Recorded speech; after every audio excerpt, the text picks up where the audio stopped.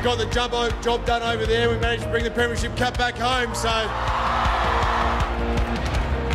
try to be a part of that. It's just pretty exciting and um, pretty good honour. So it's great to be a captain and um, I suppose you're a bit at the front of that. But it's it is a whole group thing. You need everyone pulling their weight, um, whether it's a big bit or a little bit. So you know I was proud, but um, it's a whole it is a whole team group effort.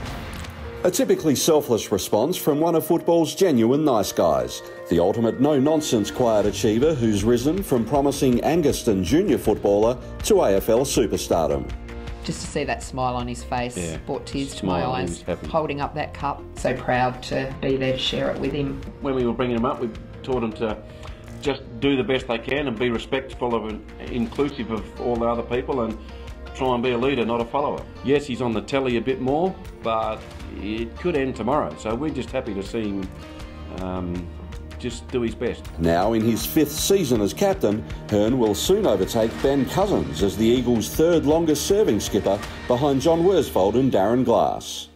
But if you thought the 31 year old with a premiership under his belt and retirement approaching was satisfied, you'd be very wrong. Hurn won't be happy unless this year is better than the last. He's told me several times about the, the Layne Beachley principle.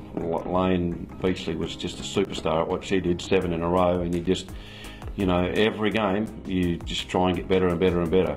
One of the things she spoke about, like when she retired, was she just felt that um, every time she won a title, she just not not that she dismissed it, but it was just going on to the next one and the next one and the next one. Sports people tend to be, because you always want to get better. You're always looking for that next thing, so you appreciate what you've done, whether that's you know individual award or a team award, but you, you tend to move on pretty quickly. Elite sport runs in the Hurn family. Father William played 135 SANFL games with Central District, and grandfather Brian was a member of South Australia's Sheffield Shield winning team of 1964. But after choosing football over a promising cricket career, Shannon says it was his time with the all conquering Bulldogs of the early 2000s that shaped him as a player in person. Well, James and Chris Gowans were excellent. Um, you know, uh, Roy Laird being the coach was pretty good. Um, obviously, Chris Grant's been the club for ages. But just, you know, how to train, um, how to play, and just the standards of you know, what football was about and how to go about it and how to win. While Hurn concedes retirement is on the horizon, he hasn't thought about it much.